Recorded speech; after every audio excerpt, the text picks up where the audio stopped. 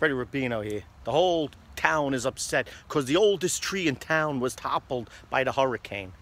Like I give a shit. Wasn't even a fig tree. Pull yourselves together, will you? It's a tree. My guy comes up to me with a pamphlet. We're having a going away party for the tree. Going away party? Just get a wood chipper over here and get it out of here. What's wrong with you people? Tells me it's like it's like losing an old friend. Let me tell you, I'm from Brooklyn. We have pieces of tree branches in our trunk called a baseball bat in case we run into an old friend.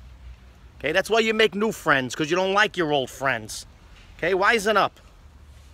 Can't even believe I'm talking to this guy about the tree. He says, listen, uh, we're gonna have a little ceremony. I hope you can make it. Make it. I didn't. My uncle died. I didn't make the ceremony. I went to the track. I won two G's. Luckiest day ever. You think I'm gonna miss that? Out of here. It's unbelievable. Then the guy tells me, he says, look at the tree. He goes, even on its side, it looks majestic. Yeah, your sister looks majestic on her side. Only they call it infectious now, not majestic. Unbelievable. I'm like a fish out of water over here. Talk to you later.